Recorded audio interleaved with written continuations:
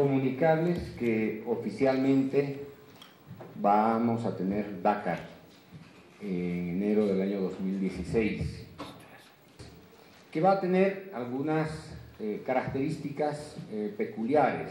Eh, la primera de ellas es que esta es una, esta es una, mm, esta es una competencia mucho más rápida, por lo tanto va a exigir a los competidores, de acuerdo a la a la información que me han mm, transmitido desde, la, desde ASO, va a ser una competencia que va a exigir mucho más velocidad a los... A, los El orgullo de ser boliviano. Dakar 2016. Maratón, etapas maratónicas, por lo tanto mucho más exigentes en cuanto al rendimiento de las máquinas, eh, consecuentemente un mayor despliegue logístico de las caravanas técnicas en cada una de las escuderías.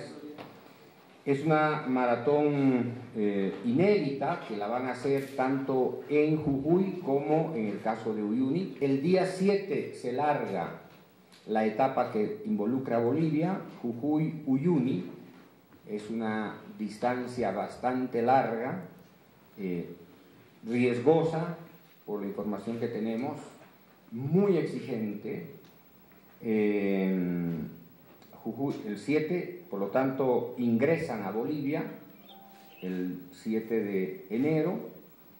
El 8 en Bolivia, en Uyuni, hacemos una etapa maratón que va a significar un circuito alrededor del Salar de Uyuni. Eh, esto implica también un recorrido tangencial por el departamento de Oruro, particularmente en el municipio de Salinas Garci, de Mendoza. Vamos a ingresar seguramente por una parte pequeña del, eh, del departamento de Oruro, el día 8, y el día 9 es la, eh, la, tercera etapa, en este caso en Bolivia. La primera etapa sería Jujuy-Uyuni, la segunda etapa para Bolivia, Uyuni, maratón, etapa maratón. La tercera etapa sería la etapa de salida, Uyuni, Jujuy.